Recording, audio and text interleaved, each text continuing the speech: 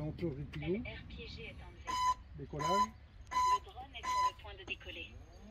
Veuillez garder vos distances.